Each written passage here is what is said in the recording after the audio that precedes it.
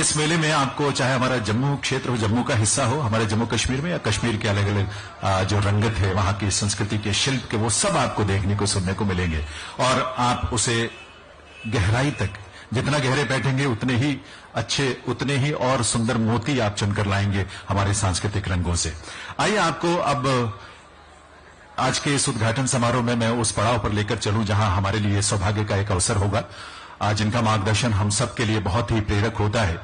माननीय मुख्यमंत्री महोदय ने आप सबकी इच्छा का ध्यान रखते हुए और खासतौर पर हमारे शिल्पकारों का, बुनकरों का, कलाकारों का मान सम्मान रखते हुए उनकी इच्छा और उनकी दरअसल उनकी पीड़ा को भी बहुत गहरे समझते हुए उनकी रही कि जहाँ तक जैसे भी संभव हो, इस मेले का आयोजन ज़रूर किया जाए।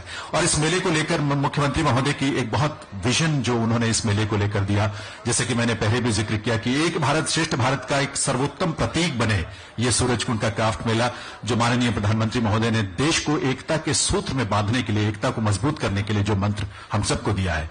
और दूसरा, एक कल्चरल ब्रिज बने ये मेला। एक सांस्कृतिक सेतु बने दुनिया के तमाम देशों की संस्कृतियों के बीच, ताकि ये दुनिया और बेहतर हो, और सुंदर हो, और प्रेम और सौहार्द के भाव से ओतप्रोत हो, ताकि इस दुनिया में हम अच्छे से जी सके और दूसरों के लिए सुख की कामना कर सके। तो एक बार आप सबके करतल ध्वन के साथ मैं माननीय मुख्यमंत्री श्री हरियाणा, श्री मनोहर लाल जी का अभिनंदन करते हुए पुनः निवेदन करूँगा उनसे कि वो आए मंच पर एक बार पुनः हम सबको प्रेरणा दें, अपने संबोधन से हम सबको ऊर्जा दें, ताकि हम इस लक्ष्य को हासिल कर पाए।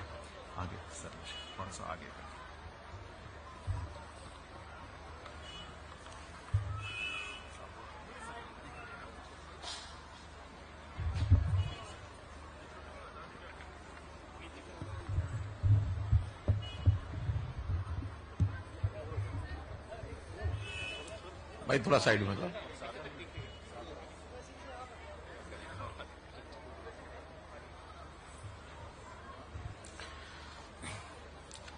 हरियाणा के माननीय राज्यपाल श्री बंडारू दत्तात्रेय जी, केंद्रीय राज्य मंत्री श्री कृष्णपाल जी जम्मू कश्मीर के हमारे माननीय उपराज्यपाल जी, जिन्होंने ऑनलाइन जुड़ना था, श्री मनोज सिन्हा जी किन्हीं कारणों से नहीं जुड़ पाए लेकिन तो भी हमारी भावनाओं से ज़रूर वो अवगत हो रहे होंगे।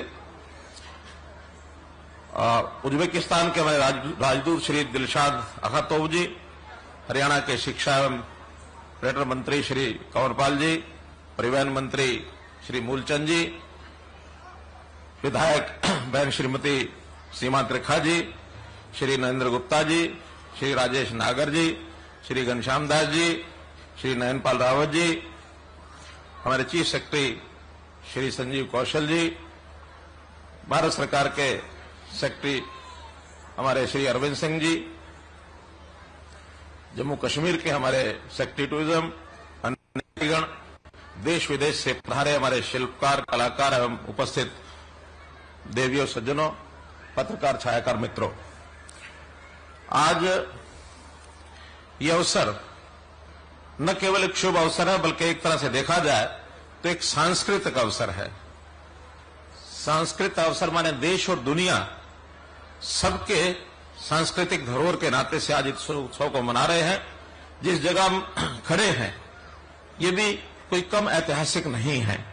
ऐसा हम जानते हैं कि बाबा फरीद की इस नगरी में लगभग दसवीं सदी में तोमर वंश के राजा अनंगपाल द्वितीय ने इस सूरजकुंड स्थान को अपने इष्ट देव सूर्य भगवान की याद में, उनकी स्मृति में ये जो तालाब बनाया था, जिसको आज हम सूर्य कुंड नाम से जानते हैं, इतिहास के अंदर इसका अपना एक बड़ा महत्व है। इसी कुंड पे, इस जगह, जो पहली बार सन उन्नीस सौ सतासी में, जैसा बताया गया कि ये जो मेला, आर्ट एंड क्राफ्ट मेला, ये शुरू किया गया, उस समय के मुख्यमंत्री साहब ने शुरू किया था।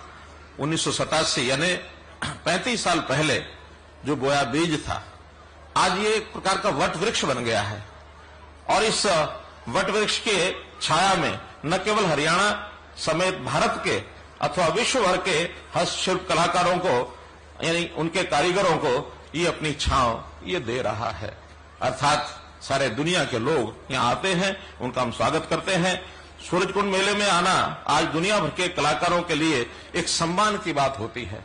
सब इंतज़ार करते हैं कि सूर्य का कुंड का मेला कब आएगा और कब हम जाएँगे। हमें खेद है कि दो वर्ष लगातार इस मेले का आयोजन नहीं हुआ।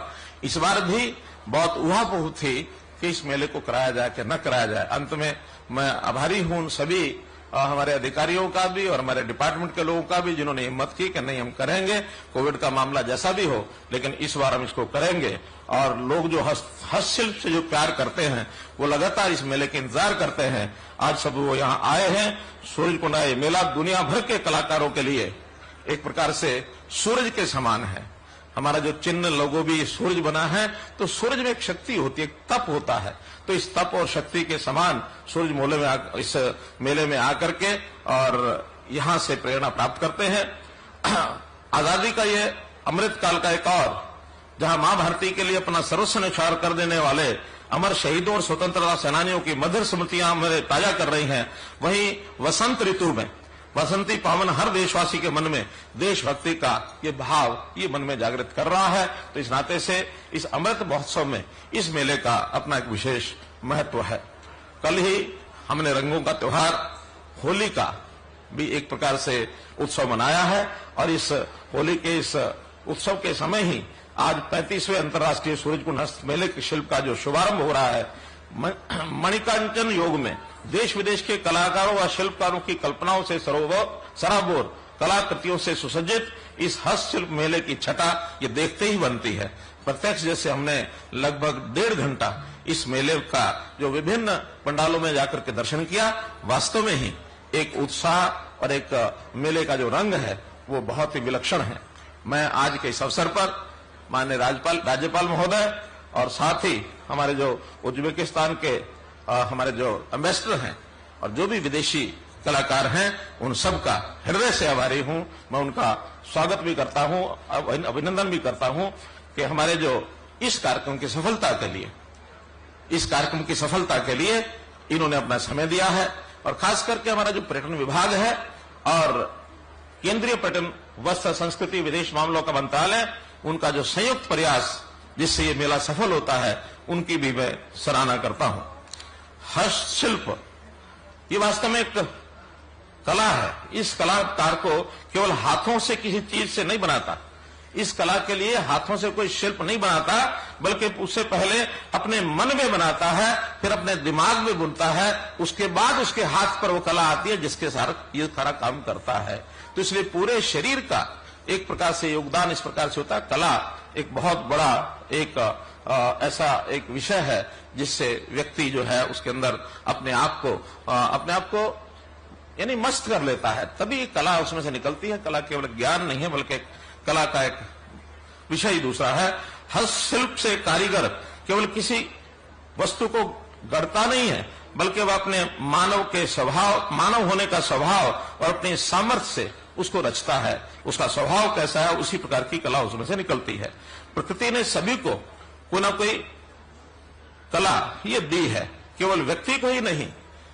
यानी हम देखें तो जीव जंतुओं को भी पेड़ पौधों को भी कला की कृति दी है। यानी जो बैया चिड़िया है, वो तिनका तिनका चुक्कर लाती है और किस प्रकार का अपना घोंसला बनाती है, उनमें भी कंपटीशन होता है कि भैया किस प्रकार की अपने घोंसले की आकृति बनाता है। ऐसी कहावत है कि भैया चिड़िया। और जो एक ये मादा चिड़िया है और एक नर जो चिड़िया रहती है, वो उस घोसले में तभी आती है जब उसको वो जो भैया द्वारा बनाया गया घोसला, वो पसंद आता है। अगर पसंद ना आए तो आता नहीं है। तो इस प्रकार से उनकी कलाओं का भी अपना कंपटीशन है। हमें एक, मानो एक मकड़ी का जाला, ये जो बुनती है, वो एक, यानी मकड़ी जो है वो जाला बुनती है, कितनी कला उसमें दिखाती है। ऐसा जाला हमने भी कपड़ा बुनने के लिए उस मकड़ी के जाले को आधार माना है। तब जाकर अपने कपड़ा बनाया है। प्रकृति एक फूल एक फूल का जो सृजन करती है तो फूल भी एक कला के बिना ऐसा कोई, यानी बिंगा डेढ़ा कोई आकृति नहीं है। फूल की एक सम्यक आकृति है, तभी वो एक कला का रूप लेती है। तो प्रकृति जो है हमारे चारों तरफ़। कला को बहुत सौंदर्य के साथ प्रस्तुत करती है। आज हमने इस मेले में इस प्रकार के अलग अलग देशों के कलाकार, बुनकर, जो भी इस प्रकार की रचना करने वाले लोग हैं, उनके यहाँ जो सारा अनुभव और जो सारी उनकी कृतियाँ देखी हैं, वास्तव में बहुत ही सराहनीय है। इस बार जैसा बताया गया कि जम्मू कश्मीर जो है वो हमारा एक स्टेट पार्टनर है। तो स्टेट पार्टनर के नाते से जम्मू कश्मीर की अपनी एक आ, और बहुत ही जिसको कहना चाहिए कि एक बहुत ही वहाँ की बेहतर कला। मैं तो स्वयं लगातार छह सात साल वहाँ जम्मू कश्मीर में रहा हूँ जो उनके परिवारों में जा करके और एक जो पश्मीने का या वहाँ की चीज़ों की जो आनंद हम कला के बनाई हुई कलाकारों की बनाई बुनकरों की बनाई चीज़ों का लेते हैं। भले ही वहाँ सर्दी हो गर्मी हो लेकिन उनके उस प्रकार के यानी कलाकारों की स्कृतियों के कारण से उनका जो अनुभव वो एक बहुत बेहतरीन है। जैसे यहाँ भी हमने देख, देखा है कि उनके, यानी मेले में पश्मीना की जो शाल है, वो हमने देखा है। दरिया है, वो किस प्रकार से बनाते हैं, कलाकृतियाँ वो किस प्रकार से करते हैं तो उनका जो इस प्रकार का ये जो काम है, बहुत ही बेहतर है। तो हम जो जो इस प्रकार से जो हमारा थीम देश है, उज्बेकिस्तान। तो उज्बेकिस्तान की भी कला हमने नृत्य भी देखा है, इनके वहाँ पर हम पंडाल में भी गए हैं।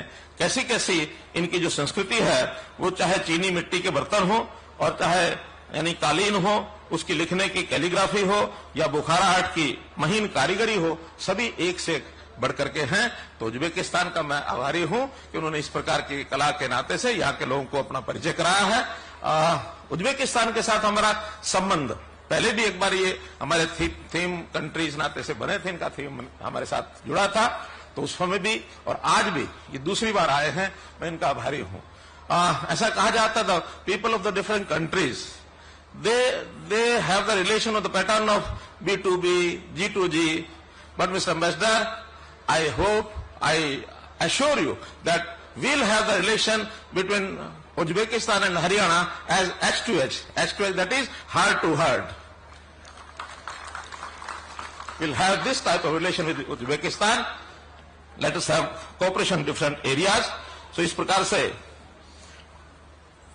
ये जो एक सूरज कुंड का मेला, एक प्रकार का एक संगम है विभिन्न प्रकार की संस्कृतियों का इतिहास हमारा जो हम जानते हैं कि सभ्यता और संस्कृति इसके लिए, यानी जो मानव जीवन है, उसमें हस्तशिल्प और हथकरघा इसका एक महत्वपूर्ण योगदान है तो इस योगदान के नाते से हमारा जो इतिहास, हम जो सदियों से सम्राट और राजाओं की मुद्राओं से लेकर गरीब की झोपड़ी तक उपयोग होने वाली जो वस्तुएँ हैं उन वस्तुओं का भी कई बार तालमेल बैठाते हैं। अभी हमारे तालमेल बैठाए थे आ, हमारे जो स्टेट सेक्रेटरी हैं कि बताया नहीं चीफ सेक्रेटरी साहब कह रहे थे कि पाँच हज़ार शब्द किन्होंने आपने कहा कि पाँच हज़ार शब्द जो हैं वो उज्बेकिस्तान से और हिंदी के साथ मिलते हैं। अभी मुझे एक मैसेज साहब ने शब्द बताया जब हुक्के पर वहाँ गए तो वो कहने लगे this type this is known as chillum.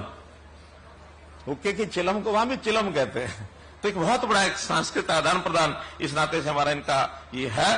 तो मैं तो यही कहूँगा कि एक प्रकार के, इस प्रकार के मेले से देश की जो विविधता में एकता, जैसे देश के प्रधानमंत्री ने कहा कि जो कहा कि एक राष्ट्र, क्या? एक भारत श्रेष्ठ भारत। अभी एक भारत श्रेष्ठ भारत में हमको भी हरियाणा को और किसी न किसी प्रदेश के साथ जुड़ करके काम करना होता है तो पिछले बार हमने तेलंगाना के साथ अपने सांस्कृतिक आचार व्यवहार से काम किया, अभी फिर नए सिरे से कुछ प्रदेश अन्य अन्य प्रदेशों के साथ अपने सांस्कृतिक जो संबंध बनाएँगे तो वो भी एक प्रकार का, इसी प्रकार का एक प्रोग्राम है, एक भारत श्रेष्ठ भारत। और हम कहते हैं वसुधैव कुटुंबकम, पूरी वसुधा, ये हमारा कुटुंब है। वो वास्तव में इन्हीं चीज़ों में मिलता है। आज देश और दुनिया में अलग अलग धाराएँ चल रही हैं। एक तरफ़ आपस में संबंध, संपर्क बनाओ, प्रेम, प्यार, शांति, ये सब करो। और एक तरफ़ ये जो युद्ध, कहीं यूक्रेन का, रशिया का, कहीं किसी का किसी का, ये जो युद्ध चल रहे हैं, इन सब में भी इसी प्रकार की सोच और विचार को जब हम आगे बढ़ाएँगे, उन चीज़ों पर विध्वंस का विध्वंसात्मक चीज़ों से उस पर कंट्रोल किया जा सकता है। इसलिए हम लोगों को, और हमारा तो प्रदेश, ये शांति का पुजारी है।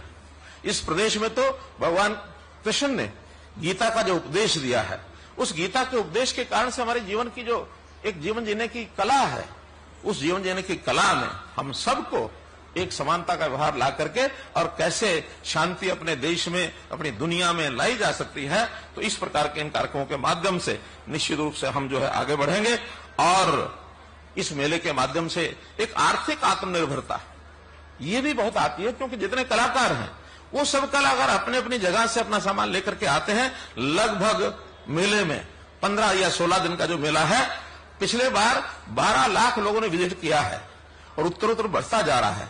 बारह लाख लोगों का यहाँ आना और हर कोई आता तो कोई केवल आनंद लेने नहीं आता, वो सामान भी खरीदता है। तो इतने सारे जो हज़ारों कलाकार हैं, इनके आर्थिक का, आर्थिक उपार्जन का भी एक प्रकार से साधन बनता है। तो ऐसा, ऐसे इस मेले की सफलता का मैं समझता हूँ, सब लोग जो यहाँ उपस्थित हुए हैं, चाहे वो बाकी देशों के लोग हैं 20 देशों के लोग यहाँ हमने आमंत्रित किए हैं, जो यहाँ अपने अपने स्टॉल या तो लगा लिए हैं, या आने वाले दिनों में लगाएँगे। बाकी जितने भी प्रदेश हैं, वो भी सब आए हैं। और इन सबको मैं आभार प्रकट करता हूँ कि ऐसे मेले का लाभ, जो हुनर आजमाने का और कला के माध्यम से अपनी संस्कृति, सभ्यता और संस्कार को दिखाने का, ये जो अनूठा आयोजन है, इस आयोजन को सफल किया है। इसके लिए मैं सभी को हृदय से बहुत बहुत आभार करता हूँ, धन्यवाद देता हूँ और आशा करता हूँ कि इसी प्रकार से आगे भी ऐसे कार्यक्रम में भाग लें और अपने अपने प्रदेशों में जा करके भी इसी प्रकार के कार्य को आगे बढ़ाएँ। बहुत बहुत धन्यवाद, बहुत बहुत आभार।